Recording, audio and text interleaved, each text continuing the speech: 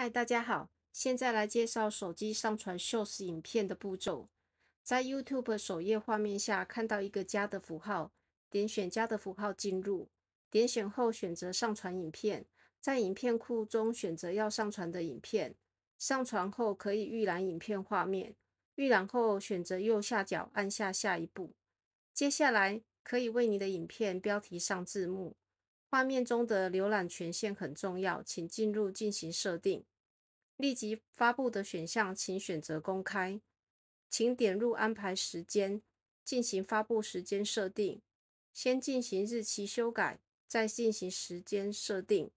完毕后回到上一页，点入选择目标观众，选择是否为儿童专属影片。年龄限制选择十八岁以下。观众是否可以收看？设定完毕后，回到上一页，进行影片缩图确认。